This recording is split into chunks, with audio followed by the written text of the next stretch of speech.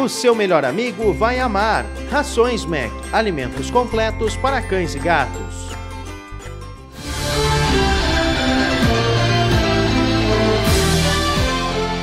Os bombeiros voluntários foram acionados após um incêndio atingir uma residência na ilha, no bairro Vila Nova.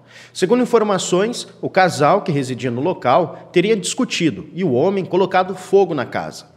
Os bombeiros foram acionados por vizinhos que viram a intensidade das chamas, que quase atingiram residências vizinhas.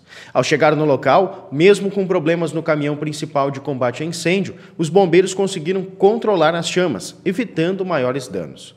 A Brigada Militar foi acionada mediante as circunstâncias. O casal foi localizado em uma outra casa. Não houveram feridos. A Polícia Civil investiga o caso.